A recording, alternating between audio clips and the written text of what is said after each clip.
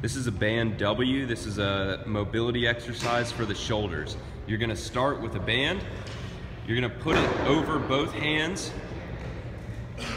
then bring the band overhead, grasp it, and then you're pulling it down behind your head.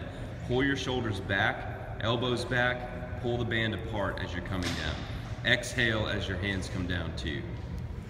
Hold for a few seconds at the bottom.